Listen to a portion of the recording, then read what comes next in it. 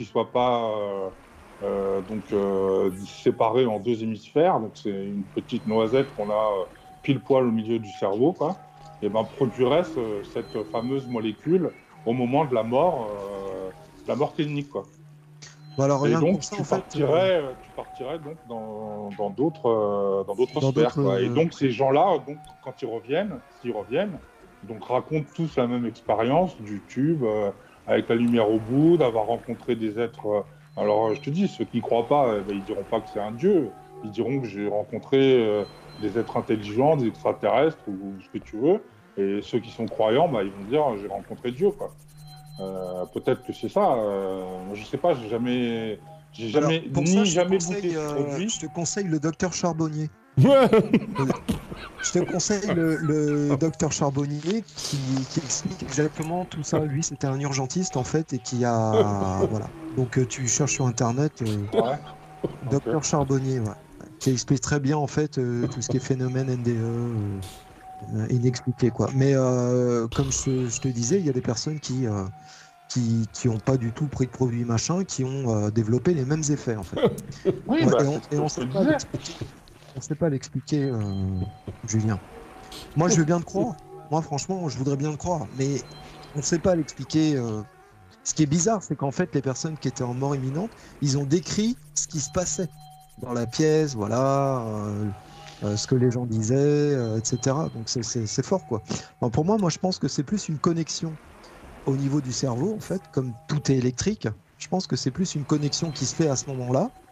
Par exemple, on est, on est dans, des, euh, dans des états euh, de mort cérébrale et je pense qu'il y a une connexion qui se fait à partir du cerveau et qui, qui, euh, qui explique un petit peu ce que tu racontes. quoi. Et du coup, comme les gens, ils ont pratiquement euh, le même avis, ils, ont pratique, enfin, ils disent pratiquement euh, tous la même chose, donc on peut supposer que c'est quelque chose dans le cerveau qui fait ça. Mais pas forcément Ouais. au niveau de la pinéale. Je suis pas, je suis pas, je suis pas, euh, je suis pas sûr à 100%. Mais Non, non, moi non plus. C'est la théorie hein, de et dis, de hein. plusieurs. euh, Il y, en a qui reprennent euh, le, le Royal College de Londres et est en train de refaire des expériences sur la DMT justement et donc de savoir euh, comment elle est produite euh, parce qu'on a des récepteurs dans le cerveau euh, qui sont euh, des récepteurs. En fait, c'est des, comme des serrures en fait et la DMT se comporte comme une clé et va se coller dans les récepteurs euh, synaptiques qu'on a dans le cerveau en fait et donc euh, faire réagir euh, donc faire l'état dans lequel on se, on se produit. Donc il y a ces récepteurs dans le cerveau, on en est sûr. Donc c'est que c'est que on est capable de d'utiliser cette DMT quoi. C'est comme il y a des récepteurs pour le cannabis, il y a des récepteurs pour la cocaïne, enfin des récepteurs qui sont très proches en fait et, et que notre cerveau euh, produit. Et donc quand on quand on fume un joint, euh, eh ben c'est comme une clé qui va se ficher dans la serrure de notre euh, de nos, de nos récepteurs synaptiques et donc on est, on est défoncé quoi. Et donc euh, il y a ces récepteurs du DMT dans le cerveau. Maurice, pour ta gouverne, en fait, le, le- le docteur Charbonnier que je te disais, c'est Jean-Jacques Charbonnier, en fait. Il est. euh, non, mais tu rigoles, mais c'est un médecin anesthésiste, un référent en réanimation. Non, mais au lieu de rire, mais tu tapes sur Google euh, Jean-Jacques Charbonnier. tu Non, mais verras. j'ai rien dit. savoir euh, toi, toi qui es curieux. Oui, oui, non, mais j'ai j'ai rien dit. Je, je t'écoute avec beaucoup Tu peux le d'attention. noter sur le, le bouquin aussi. Je salue celles et ceux qui sont venus euh, rapidos euh, jeter un petit coup d'œil à, à ma chemise euh, d'aujourd'hui. Euh, Ah, Ouais, les bleus, quoi. Ouais, elle est bleue. Ouais. Elle est bleue. euh. Bon, euh, après l'intervention euh, de, de Mike de Niort, qui est quand même un, un intervenant, euh, intervenant quoi. On va écouter Arnaud de la Ferté-Alais. Ah. Et, et je voulais dire à, à Mike de Niort, j'adore le tapis là qu'il y a derrière toi là. Oui, justement, en fait, j'étais sûr qu'à un moment donné, t'allais me le sortir. Les chamans, c'est toi qui parlais des chamans, non C'est ça? Non, non, non, c'est Non, c'est moi. Bah, je crois, je crois, euh, Julien, je pense qu'il t'a piqué ton tapis. Ah, il est chiant avec ça, putain. comment, comment on peut humainement choisir de mettre derrière soi un truc pareil Moi j'aime bien, moi j'aime bien. Première Je soutiens Mike, moi j'aime bien. Il est- il est- il est- il est- peut-être, non Ouais, Il est pas ça. exotique.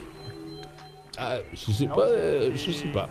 Apparemment, ça va les... Ouais, bon, ils sont derrière moi, t'inquiète. Ouais, ça va. Bon, très bien, excusez-moi. Euh, alors écoutez Arnaud à la Ferté-Alais si c'est pas endormi. Arnaud, Ah, qu'il est tard pour lui. Je me suis réveillé à 22h30. euh, tu c'est gentil, euh, je vais pas me rendormir tout de suite. ah d'accord, c'est pas maintenant. là, Ça va te filer des brûlures réveillé à des... 22h, 22h30 parce que Ça va te filer des- ma nuit euh, Ouais, pendant attends. que vous faisiez l'émission. Ouais, ça va te filer des Comment brûlures d'estomac, Julien, ça. Ouais. Ouais, je sais, mais Ouais. Ah, c'est pour euh, ma gastro. Il y a quelqu'un que je découvre, c'est Mike. ouais. Mike de New York, euh, je trouve, euh, Ouais, c'est ça. ouais, il est très intéressant, il est assez pointu dans ses descriptions, il est, il a pas mal de connaissances euh, intéressantes. Euh, moi, Mike, euh, il marque un point pour moi ce soir. Ouais, t'as Sur une échelle hein. de combien? Sur l'échelle de un point, Ça va. tu marques un point sur un point. Tu Et fais est-ce que sans tu aimes mon faute. tapis Arnaud, est-ce que Euh, tu aimes mon faute, tapis euh, derrière Le problème, c'est la clope, tu vois. Ça serait mieux que t'aies Ah, pas la ouais. clope. C'est que euh, le point, ah. tu peux vite le reperdre, hein, par contre. Ouais, c'est clair. Que là, déjà, tu perds un demi-point avec la clope parce que la clope, c'est mauvais pour la santé. Par contre, euh, par contre, tu peux faire une copie du tapis pour Julien de, de Mont-de-Marsan. Ah. Ouais. tu peux le montrer le tapis, s'il te plaît, Mike euh, Avec Prendre un peu de recul avec ta c'est un caméra là pour euh, voir le tapis. Ah, en- je pense qu'on n'a pas besoin d'en voir plus. Hein. Rien, rien que comme ça. euh, ouais. Ah, Il y a des éléphants, c'est quoi des éléphants? Des C'est hippopotames indien, c'est indien. Exotique, ouais. Ah ouais, c'est ça vient d'Inde, ça, c'est l'éléphant roi là-bas. Non, non, ça vient, ça vient de Tunisie. On l'a dit la dernière fois avec euh. J'adore ces conversations. Non, Ah, c'est. en train de triper sur mon tapis, merde. Ah ouais, mais j'aime bien les couleurs, j'aime bien les couleurs, t'as un beau sourire, t'as les yeux bleus, on dirait là. T'as les yeux bleus. Ah bah c'est pas qu'on dirait, c'est que j'ai les yeux bleus. T'as les yeux bleus, t'es plutôt beau gosse, on dirait que tu fais de la radio, toi. J'ai j'ai fait 5 ans de radio, oui. Oh, mais t'as un micro euh, du futur, là. Euh, Maurice, a, Maurice a un micro qui coûte plus cher que le mien, donc. euh, Non, non, mais après, on fait pas un concours de beats, mais je veux dire. euh, Non, non, parce Maurice, il- plus Maurice, il des mugs aussi, hein. Ouais, Très, très bien euh, observé. Ah, vous se fatiguez, hein, puis j'écris dessus en plus. Arnaud est amoureux de Mike sur le chat. Merci, euh, Zerto. bon, très Ah bien, moi, allez-y, euh, Arnaud, allez-y. Donc, euh, ouais, donc c'est très intéressant de voir euh, ce nouvel invité, là, euh, ce nouvel intervenant, Ça fait déjà trop Mike, euh, qui a- Je me répète, euh, t'as le, le casque, t'as pas entendu ma question là. Non, vas-y. Non, t'as dit quoi Non, j'ai dit que ça fait trois fois que je suis intervenu dans, dans l'émission, mais t'as peut-être pas écouté les non, podcasts. t'as- quel âge au fait, euh, Mikey? 45 ans. Ah ouais, ouais, t'es un gamin quoi. Façon de voir les choses. Ouais, non, mais je te taquine, je Non, mais je sais très bien que tu euh, me taquines. Attends, c'est bon enfant, hein, t'inquiète, y a pas d'agression. Ouais, euh, ouais. on, est en, on est en famille, là. trop de filtres, euh, tu je fort ta clope. Ouais, mais euh, ça m'inspire. Je sais. Je devrais faire comme euh, Maurice, euh, mâcher des chewing-gums, euh, mais bon. Bah, bon, moi, je, je- moi, Quel des rapport, euh. Moi, je prends des Mâcher Nicorettes. chewing-gums, pourquoi? Je prends des Nicorettes. euh, Franchement, Bah, Bon, parce Maurice, que, en tu fait, voulais dire quelque chose que- Non, j'ai je- j'ai pas compris le rapport. euh, je devrais faire comme Maurice Maché. Non, mais parce qu'en fait, le chewing-gum, c'est moins nocif que la clope, mais par contre, ça, ça détruit le foie, quoi. Ah bon euh, Ah. L'un dans l'autre. Ah, ça, tout ça, c'est théorie. C'est le, professeur Charbonnier, ça, non Nicorette, ça Encore lui. Alors c'est que j'entends pas, j'entends pas ce que dit Maurice quand Arnaud parle. Ça, ça coupe. Pardon, non, pardon, c'est Maurice qui est la prioritaire. C'est Maurice qui est prioritaire, Maurice, qu'est-ce que ça raconte Non, non, rien. euh, Allez-y. Allez-y. Vas-y, Arnaud. euh, euh, après ça, on va, on va aller écouter Frédéric Hamès. Ouais, c'est vrai que j'ai pas la chance de parler souvent non plus, donc euh, je vais essayer de prendre la chance, mais le problème c'est, Maurice, si t'as un truc à dire, il faut le dire, hein, parce que Ouais. si c'est vrai qu'on veut des fois, on, on se moche et c'est- c'est c'est- c'est malheureux pour tout le monde en fait. Ouais. Il hésite, hein. il hésite souvent à dire des trucs, Maurice. Euh, Ouais, mais c'est parce que je suis timide, ça. Je C'est- c'est- c'est ma timidité, pas- là. Je- continue à prendre mon traitement. Tiens à dire qu'on me comparait à Arnaud au début de l'émission. quoi. Je sais pas quand il rigole, Maurice. Est-ce que c'est, est-ce que c'est euh, pour se moquer ou est-ce que, je sais pas. Ouais. Des fois c'est bizarre. Ouais, ça, c'est le- c'est mon traitement. J'ai fait ça. Ah. Je voudrais. euh, pardon, sur ton traitement. Oh, là. Et encore, il est stabilisé maintenant. Ah ouais, ouais. Et- Là, on a trouvé les, ils ont trouvé les bonnes doses. découvert un huitième médecin, le docteur Charbonnier. Ah oui, c'est. Jean-Charles Charbonnier. Jean-Charles Charbonnier. Et... Ouais, mais dis donc, mais toi, t'as une bonne bouille, quand même. Une bonne bouille, hein. Voilà, C'est- c'est bon, il comme- est- il est minuit- j'ai- il est minuit et quart, J'ai pas mis la caméra parce qu'en fait, euh, j'ai eu un C'est accident vachement de voiture. radiophonique hein, ce qu'on fait. hein. Les gens ils découvrent pas, ils, ils entendent juste la voix, mais euh, voilà. Ouais, mais t'as une belle voix, t'as une voix posée, t'as une voix calme, t'as une voix apaisante. Je fais de l'hypnose de temps en temps, Arnaud. J'avais pas vu l'heure, mais il va falloir que j'aille au lit, moi. hein. Comment Mike Mike Comment Ouais. Bon, très bien. Merci Arnaud pour ton intervention. On va écouter euh, Frédéric Hamès et ensuite on procédera aux, aux, euh, aux, euh, formalités de sortie. Allez-y, euh, Fred. Eric. Ben, euh, hum, moi, j'ai. euh, Ah, pardon, j'ai une question. J'ai une question personnelle euh, d'ordre. Ah ouais. Euh, c'est bien toi qui as envoyé une photo hier euh, avec une gonzesse dans une cu- cuisine en train de Exact. manger des moules. Qui était cette fille hein. J'ai pas réussi à en savoir plus. Non, c'est- une copine. D'accord. Ouais. C'est une copine amie, d'accord. Je, je me demandais. Ok. Allez-y, merci Voilà. d'avoir répondu. Ouais, non, elle a pas voulu pour la photo. Donc, euh, Ouais, bon, avez raison, elle a pas voulu, euh, elle veut pas. Elle veut pas, elle veut pas. hein. Bon. à l'occasion. Non, mais elle veut pas, elle veut Euh, pas. hein. C'est comme ça, ouais, c'est la fait, vie. hein. moi j'ai j'ai fait. euh, en fait, je vais j'ai trouvé une formation là qui m'intéresse et donc euh, je vais m'inscrire. En fait, je pense euh, très certainement. Bon, alors euh, les délais sont assez longs parce que c'est dans un an qu'elle commence. Attendez, attendez, Mais, euh, attendez, attendez. On en est où On en est où là? Aujourd'hui, tu travailles euh, euh, Ouais, ouais, travaille, ouais. Aujourd'hui, je travaille. euh, J'ai, euh, je, je travaille toujours au même endroit en fait. Dans quel domaine? Euh, Juste pour un Eh petit ben, rappel? Je bosse dans une, euh, dans une société qui vend des, des services pour les fonds d'investissement. Euh, Ah oui, très bien. En gros, dans enfin, le fonds d'investissement, il y a une, c'est une société. La plupart du temps, c'est, enfin, on va dire la plupart du temps, c'est des SA, donc il y a un conseil d'administration. Et, euh, et donc, on vend des services de membres de conseil d'administration et des services de de gens qui sont responsables de la. Il faut tout traduire parce que tout est en anglais. Des gens qui sont responsables de la surveillance du bon fonctionnement du fonds. Et, euh, et aussi des mandats de, de, de, de MLRO, c'est-à-dire de gens qui vérifient qu'il n'y a pas de blanchiment d'argent dans les fonds.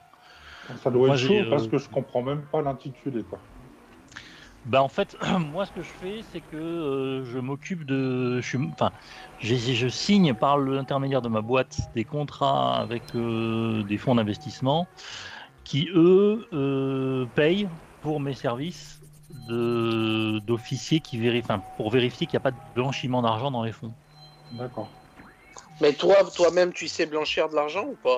Je. Bah, euh, je sais comment on blanchit l'argent. Disons que, Ah, parce que les- Lucas, les, il- les- les manières les plus pratiques, les plus, les plus communes, on va dire, de, de- de blanchiment d'argent, oui, je les connais. Parce que Lucas a 50 euros à essayer de blanchir, si tu peux l'aider. Il a revendu sa voiture. Ça va dépendre, euh, ça va dépendre de. Bon, il y a pas pour. Si 50 euros, non, tu... il faut avoir, euh, cinq- il faut avoir euh, 50 000 fois 50 euros, par exemple. Ouais. tu vois. Non, mais lui, c'est, le, fruit de la vente de sa voiture, donc euh, ça, Ah oui, d'accord. il ne voudrait pas les déclarer. C'est, ouais, mais c'est pas, c'est ça le, le principe du blanchiment, c'est que ça vient d'une source illicite. Soit, euh, soit une, bon, ça peut être trafic de drogue, trafic d'armes, euh, ça peut être. euh, Bon, elle a jamais été le immatriculée. hein. terrorisme aussi, parce que Elle- ça aussi. hein, Elle a jamais été immatriculée, on sait pas trop d'où elle vient. hein. Ouais. Donc ça peut être, euh, ah, si, si tu peux blanchir les 50 balles, ça lui permettra d'aller Ouais, au bar avec sa gonzesse. Moi, je peux, je peux, je peux, je voir si jamais il met ses 50 balles dans le fond. Euh, je, peux voir d'où euh, d'où vient la, l'argent. Je vais lui demander des justificatifs. En gros, je vais vérifier moi qui c'est en fait. Euh, on a des outils pour voir même s'il a des PV, quoi, par exemple, hein, tu vois. Ah ouais. Euh, euh, ouais, ouais, ouais. euh, savoir d'où vient la source de, de l'argent, donc je vais lui demander des justificatifs, des tas de justificatifs. Et puis, euh, et puis en fonction de ça, il y a, il y a en fonction du, du risque lié au à son profil, on va dire, euh, on accepte ou on n'accepte pas. Quoi. D'accord. Ah Donc, ouais. ça, Mais ce qui est bien, c'est que, c'est que quand il y a une, une- une suspicion, on laisse le fric rentrer. C'est-à-dire qu'on le. Bon, il y a des cas où on le bloque, hein, évidemment. Mais euh, il, il peut arriver qu'il y ait des... qu'on laisse le fric rentrer, mais c'est au moment où le mec veut le ressortir que ça marche plus, quoi. ah ouais, comme certains chiens. il laisse le voleur, il laisse le voleur rentrer dans la la maison et, sûr, il y a des, et ben, après, il au empêche de Luxembourg, sortir. C'est le, c'est le parquet en fait, qui, enfin c'est la cellule de renseignement fi- euh, financière qui s'occupe de ça. Mais effectivement, quand euh, tu as des suspicions, tu fais, il y a une procédure qui, euh, qui permet d'écrire la, de dire voilà, bon, il faut la motiver hein, évidemment, il faut, expliquer pourquoi, et puis euh, et, euh, et ensuite eux font une enquête. Mais Et oui, ça oui. arrive souvent? Euh, non, pas, enfin ça. arrive, déjà oui, dans ça- ta boîte Non, nous que- on en a, on en a quasiment pas parce qu'en fait tout est, on contrôle que l'autre a contrôlé en fait. Donc si tu veux la chaîne de contrôle, elle est, tu vois, chacun fait ses due diligence. euh, après moi, je suis surtout sur les, je fais, je fais pas les contrôles d'investissement, c'est-à-dire euh, l'argent qui arrive. Moi, je fais des contrôles sur plutôt. euh, ah, bon, il y, a une, sur les- il y a une nouvelle loi qui est arrivée sur le bénéficiaire ultime, mais euh, sur, sur ceux qui ont le contrôle du fonds. C'est-à-dire que maintenant à, Luxembourg, depuis le 31 août 2019, enfin, c'était la date pour euh, la, la soumission, tu peux en fait demander, euh, c'est public, tu peux demander qui sont euh, les bénéficiaires ultimes des fonds d'investissement c'est tombé dans le public en fait. C'est-à-dire que tu veux faire la demande. Tu peux savoir en fait qui, euh, qui a derrière. quelle boîte, quelle part il a dedans et euh, voilà. Ouais. Bon, très bien. Et donc la formation que tu as trouvée, qu'est-ce que c'est?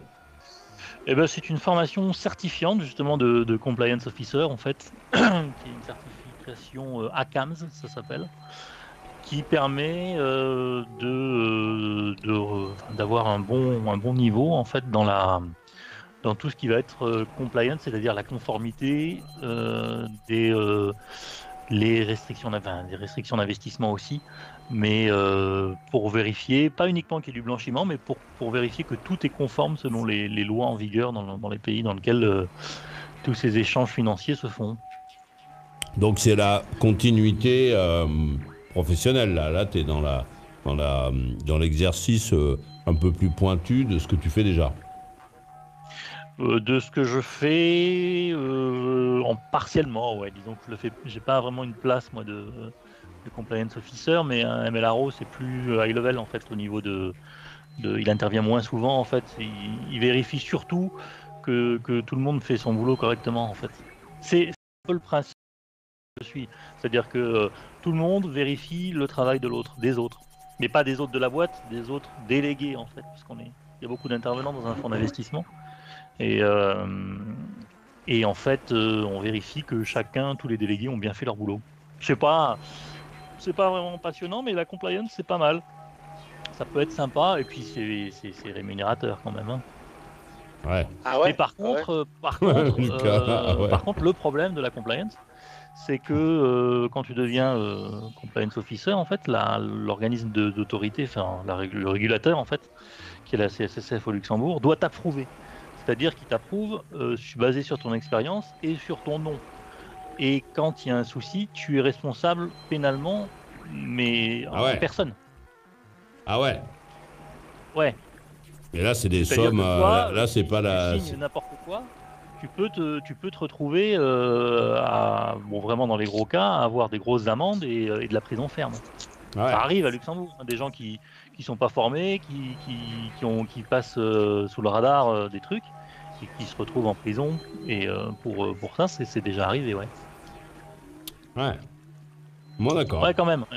C'est pas la boîte qui va prendre pour toi, quoi. Même si tu as une assurance, euh, c'est pas la boîte qui va, qui va prendre pour toi. Ah bon? C'est-à-dire qu'en tant que salarié, tu te fais, tu te fais, tu te fais mettre en putain, c'est c'est dingue. ça. Ouais. En tant que salarié, Ouais, mais mais en tu tant que salarié, responsable pénalement de ce que tu signes au sein de l'entreprise qui t'embauche. Et ouais. Ouais, mais euh, euh, attends, c'est-à-dire que oh, c'est pour ça que t'es bien payé aussi, parce qu'il y a des risques. Ça règle combien par mois à peu près? Non, mais sans me dire ton salaire, mais Ah, nous, euh, bah, après, bon, les, je, je pense que là, un compliance, tu peux être, euh, tu peux être à- avec quelques années d'expérience, tu peux être à 100 000 par an. oh putain, 100 000 par an? Ouais, Oui, bah, à bah, peu près. Mais tu sais, Euh, Lucas, il va s'évanouir, il va- hein, Il va s'évanouir. Tu sais, chez nous, on en a Tu pourrais un, t'acheter a- une belle caisse, hein, Lucas. 100 On 000 a, euros on a- à l'année. on a un DOF, il est à, il est à 230 000 hein, Ouais, par an. 230 Ah ouais, putain. Ah ouais, mais du coup, c'est impossible de vous, euh, de vous corrompre. C'est c'est même pas la peine. Le mec qui veut corrompre, il faut, il faut qu'il ait, faut qu'il ait, faut qu'il ait des ronds sous la table, quoi. Alors, bah, tous les mois, tu dois faire un rapport en disant euh, que, euh, que personne n'est venu pour te proposer des restos, euh, des cadeaux. Au-dessus de 100, 100 euros, tu dois déclarer tous les cadeaux qu'on te fait. 100 euros Ouais. Parce croient Si que, la valeur du cadeau est supérieure à 100 euros, après ça dépend des politiques internes des boîtes. Mais euh, je crois qu'il y a quand même une loi qui couvre ça. Il y a tellement de lois et de régulations, tu sais, du lien fou avec tout ça. Mais au-dessus de, je crois que c'est 100 ou 150 euros, je crois 100, 100 euros, je crois, c'est pas énorme. Tu dois déclarer si quelqu'un veut te faire, euh, te- tu vois, euh, des restos, des trucs, euh, des, des trucs en nature, quoi, en fait. tu dois le déclarer. Tous les mois, il faut dire, voilà, bah non, non, j'ai rien eu ce mois-ci, non, non, j'ai rien eu Mais ce tu, mois-ci. peux la- mais tu peux les accepter. Tant que tu les déclares, ou c'est litigieux de Ouais, les je accepter. crois. Je crois, je crois que si tu les du coup, c'est litigieux de les accepter. Quoi. Euh, ouais. Même un c'est- cadeau de- la loi. C'est ce genre de truc Mais- que je vais apprendre justement dans la formation, par exemple, tu vois. Mais, mais attends, euh, tu, tu déclares les cadeaux de, de gens, euh, mais tu déclares pas les cadeaux des gens de ta famille, par exemple, des trucs comme ça. Quoi. ça n'a rien à voir. Ah, c'est Bah, l'ours si de Saint-Chamond euh, Si ta famille euh, est, est actionnaire, enfin shareholder, on va dire, de, de, de, de- de tes fonds, déjà il faut le dire, parce qu'il y a un conflit d'intérêt euh, direct. Et euh, je pense pas que ça puisse être accepté. Et de toute façon, oui, il faudrait le dire. Mais non, les cadeaux que tu as reçus à Noël de ta, ma- de ta mamie, non. C'est sûr que euh, t'as pas besoin de le dire. Si, Ça euh, intéresse non. beaucoup moins déjà. Ah oui, Ouais, mais je c'était dans le cas où euh, ta famille était impliquée dans des, euh, dans des. dans Bah, des si par un peu- exemple euh, ta grand-mère t'offre un pyjama marineur à 130 euros, là on est au-dessous, Ouais. au-dessus euh, des 100 balles, t'es obligé de, de le déclarer, de le produire en plus au bureau. En pilou-pilou, Donc faut t'es obligé, déclarer ton pilou-pilou. donc, t'es obligé de montrer ton, ton pyjama à ton chef de service pour qu'il soit sûr et certain que c'est vraiment un pyjama, que c'est pas juste du pognon. Bon, j'adore cette émission. Eh oui. hein. Non, vous lui donnez vraiment beaucoup de relief. euh, il y avait très longtemps que j'avais pas ri autant que ce soir. Et vraiment, euh, je me rends compte que euh, j'ai essayé d'é- d'écouter des, des radios où il y avait des blagues et tout ça, et souvent ça me fait pas rire. Par contre, la- le, le monde du quantique, je crois que c'est l'un des trucs les plus hilarants que je connaisse. Et j'adore quand vous en parlez. Vraiment. hein. C'est euh, c'est vraiment, c'est vraiment C'est super. ironique, euh, non? Ouais, Tu y ouais réfléchiras. c'est on- moqué vraiment. Quoi. On va écouter la conclusion de Julien à Mont-de-Marsan, je vous prie. Moi, j'ai plutôt apprécié l'émission. J'avais déjà essayé d'aborder le monde du quantique euh, une ou deux fois. euh, et ça ne passionnait pas les foules, et d'autant plus toi. Donc, tu m'avais vite euh, éconduit. Donc, ce soir, j'ai été content de trouver des, gens avec qui j'ai pu échanger le peu de mes connaissances et apprendre d'eux et avoir des nouvelles idées. La théorie de Fermi, là, j'en avais pas entendu parler, donc euh, je suis content, je vais m'y intéresser. Et voilà, quoi. Je pense que je pense qu'il y a encore plein de choses à découvrir et que c'est passionnant. Et bon, bah, tant que ça reste des théories, c'est sûr que euh, bah, ça reste des théories. euh, mais bon, ça reste quand même intéressant de se tenir au courant des dernières des dernières nouveautés avec des gens qui font de la vulgarisation. Parce que c'est sûr que je suis pas un physicien. euh, je suis pas un physicien, chose que j'aurais bien voulu en fait. Je pense que si euh, j'avais eu d'autres parents, euh, enfin, je vais pas rejeter la faute sur mes parents, mais Ouais, ce, ce sera, ce si- sera ouais, un peu bah sympa. Mais bon, si j'avais pas, si j'étais pas tombé dans, si je m'étais pas tombé dans la drogue, euh, tout ça, si j'avais pas fait les choix que j'ai fait, en fait, j'aurais pu faire quelque chose de plus intéressant de ma vie. Euh, Mais bon, j'essaye de me rattraper aujourd'hui, de faire quelque chose qui me plaît, et voilà, ça me plaît. Désolé pour les végétariens et les véganes. Euh, je vais continuer dans la viande et en tout cas traiter la viande comme une matière noble et, et la travailler du mieux possible. Je vous remercie pour cette émission. Merci Maurice. Bonne soirée, à- bonne nuit à vous tous et bonne journée à ceux qui se lèvent. À bientôt. Alors, Kenra, les bonnes nuits à toi. Merci euh, d'être venu et bon courage donc, pour la suite de ta, de ta formation. Merci. La conclusion de Lucas Saint-Chamond. Alors oui, donc euh, on- on s'est- dans cette émission on s'instruit. Je connaissais pas la, dimé- la DMT, donc la dimethyltryptamine, la substance euh, psychotrope. Bah, je viens d'en acheter là, tu vois. J'ai appuyé. C'est dans la cœur, c'est dans le panier. Ah, il faut que tu le déclares. ça, c'est- Ouais. Ouais, faut que je... Ah, faut que je le déclare. je crois pas, hein, parce que c'est. Mais maintenant, tu, tu peux. non, franchement, c'est facile d'acheter. Enfin, t'as pas besoin d'aller sur internet pour, euh, pour, euh, pour acheter de la drogue. Hein. C'est pas, c'est pas, c'est pas très compliqué. Mais euh, Ouais, non, mais il y a plein de euh, trucs. ah, c'est- ça doit être plus dur quand même que, Ouais. que vers chez vous quand même. hein. Parce que bon, euh, bah, euh, bon, moi je reste. Moi, je suis pas très fan de, de, de drogue, mais bon, c'est toujours euh, documenté, c'est toujours euh, intéressant. Euh, ouais, donc du coup, du coup, ouais, c'est c'est pas, il y a eu pas mal d'informations, tu vois. le- J'ai suivi aussi le, le tout le débat sur le, le- la physique quantique. C'est- très très intéressant. C'est souvent des, des discussions qu'on ne peut pas avoir en dehors de en dehors dans, dans nos vies réelles. Quoi. Genre, on ne discute pas de ça euh, à table. euh. Moi, j'ai enfin, jamais vu spécialement des gens euh, discuter de ça à table. Quoi. Parce que là, là, là tu vis pas vraiment, là, c'est ça, quand tu es ici. Là, maintenant, à cette heure-ci, tu, tu, tu vis pas vraiment. As une vie réelle et là, là c'est une vie abstraite que tu as, c'est ça Non, je veux dire. je Non, dire, mais c'est taquine, c'est Je taquine. n'oserais assumer dans la vraie vie. Ouais. Parce que, parce que si t'as- on parle de ça là, à dîner, euh, si je parle de, je commence à parler de, de DMT euh, devant mes beaux-parents ou quoi que ce soit, euh, à un moment donné, tu vois, ça va pas faire quoi. Bon, j'ai quand même noté, euh, j'ai quand même noté qu'à partir du moment où tu as voulu en parler, tu as coupé ta caméra quand même. Tu avais peur qu'on te voit.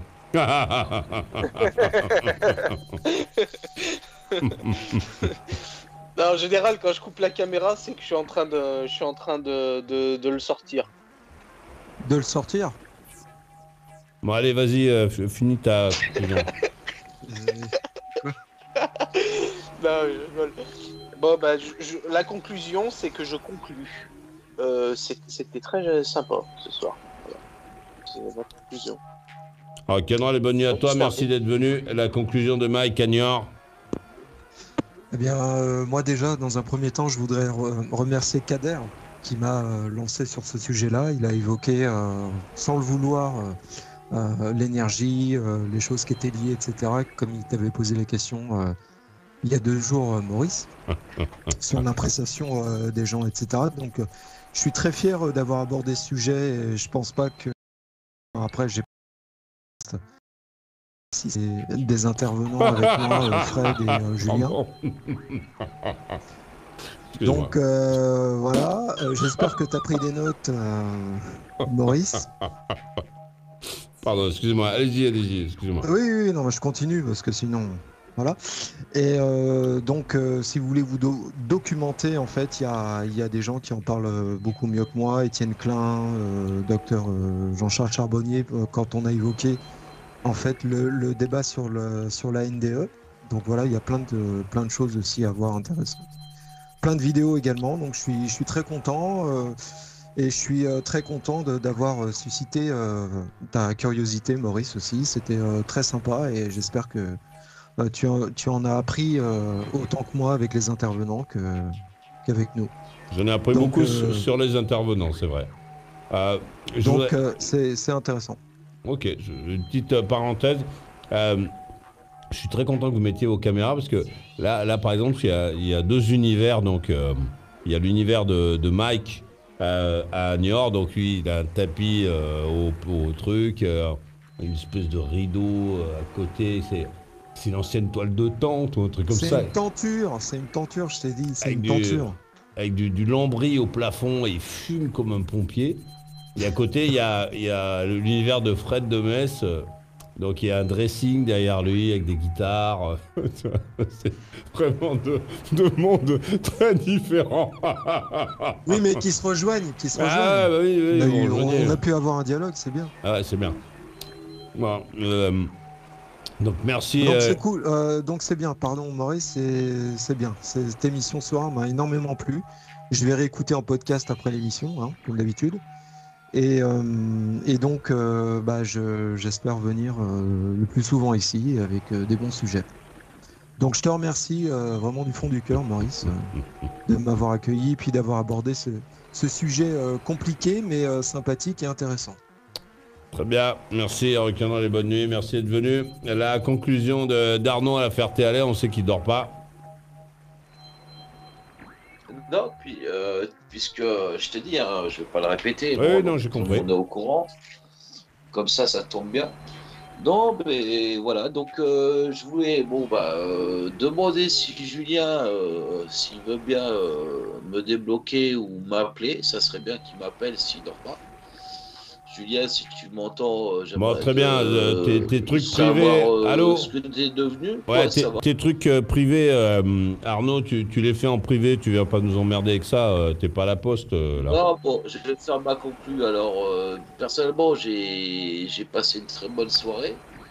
J'ai passé une très bonne nuit aussi. Euh, Maurice, vraiment, t'es quelqu'un de formidable. Ouais. T'es vraiment euh, tout rire et vraiment euh, euh, bien significatif. Et comment dire, t'as un rire vraiment euh, communicatif, je veux dire. Et puis euh, voilà, donc euh, je salue aussi Mike, Mikey, Mike de New York, parce que lui, franchement, je trouve que bah, c'est une nouvelle voix, c'est une belle voix, c'est quelqu'un que je trouve qu'intéressant. Après, je trouve qu'il a marqué un point ce soir, même si j'interviens pas tous les soirs pour donner les bons points et les mauvais points, mais là, je trouve que Mike, il a marqué un point. Je trouve qu'il a quelque chose que les autres n'ont pas. Il a quelque chose que les autres. Il a un truc, il a le truc en plus, quoi, Mike. Il a le truc en plus. Ouais, c'est bon, on Ah. verra pour le chèque. Après. Merci, euh, t'as fait ta conclusion, je voudrais plus t'entendre, euh, Mike de, de Niort là, merci. Voilà. Merci, Mike de New York. Et puis, euh, tout le monde, en fait, tout le monde a sa, sa singularité. Tout le monde a, apporte sa pièce à l'édifice. ok. Et puis, euh, bon, bah, on vous, on vous salue quand même tous et puis on vous embrasse. Pour ceux Euh, euh, qui acceptent les, les accolades. Ouais, moi je vais pas À me. Je, je- je Au vais, revoir. je vais pas faire ça. Merci, hein, Requin les bonnes nuits à toi, merci d'être venu. Euh, la conclusion de Frédéric à Metz, s'il vous plaît. Ben. Oh là, euh, allô? Ouais, je sais pas qui. Ah, ok. Euh, ouais, effectivement, intéressant. C'est pas souvent qu'on passe, on parle de ça. Moi, euh, j'en parle aussi assez peu, même si j'aime bien me documenter sur tous ces sujets euh, cosmologiques, on va dire. Euh, je crois pas en avoir, avoir entendu en parler dans l'émission, mais bon, c'est un sujet effectivement qui me, qui m'anime, qui me passionne aussi, parce que c'est de la recherche, c'est savoir un peu d'où on vient, où est-ce qu'on va aussi. Donc, euh, des choses qui sont plus grandes un peu que nous. Donc ça, c'est des choses qui m'intéressent. Après, euh, on trouvera toujours des gens euh, qui qui sont pas forcément intéressés ou qui en rient ou qui. Mais bon, euh, on peut rappeler euh, en même temps que euh, que, que, que, que, que Galilée pensait, enfin a dit que la, que, la Terre n'était pas le centre de l'univers, mais qu'elle tournait sur elle-même, et puis il a été tué pour ça. Aujourd'hui, on a bah, l'homme est toujours l'homme, donc on aura toujours des gens qui seront dans, dans, on va dire, sceptiques quant aux nouvelles euh, théories, puis enfin, aux théories de l'époque, on va dire, mais que ça n'empêche pas la science d'avancer, on va dire, heureusement. Donc, euh, donc voilà, c'est tout ce que je voulais dire. Faut qu'on continue à chercher. C'est noté. Alors, Canera les bonnes je t'enverrai une petite photo quand même à l'occasion. Ah, si elle veut, si elle veut. Alors, Canera les bonnes à toi. Merci d'être venu. Et bonne euh, continuation. Moi, j'adore cette émission. hein. C'est quand même la soir. euh, eh, on se rend pas compte. Hein, euh, L'univers quantique, c'est un univers euh, extrêmement euh, drôle, quoi. C'est un univers dans lequel tu peux taper sur le ventre. J'adore. C'est- la rencontre de cette émission. Mais attention, je suis pas en train de dire qu'il faut pas en parler. hein. Moi, je trouve ça très bien. très très bien que, que tu viennes en que tu viennes en causer. Bon, va sur la boutique de Maurice Radio Libre, va acheter le nouveau mug euh, de Maurice Radio Libre qui euh, participe à faire la collection et qui euh, finance la radio, qui nous fait rentrer de la caillasse et qui nous permet de payer les droits sur la musique, les je sais pas quoi, l'URSSAF, l'électricité, les frais de je sais pas quoi, de carburant, de mécanique, de construction, d'achat, de, de matériel. Bon, donc fais ça. C'est à chaque fois que tu fais ça, tu, tu fais reculer en fait les écrans publicitaires et, et cette euh, façon euh, qu'ont plutôt les radios et les, chaînes de télévision d'interrompre le programme pour te dire d'acheter des voitures, des pneus, des chaussures, euh, du jambon, etc. Donc fais-le. Bon, c'était très bien. Je te laisse avec un morceau que tu as déjà entendu, qui, est, très joli, très sympa, qui est bien réalisé, bien interprété.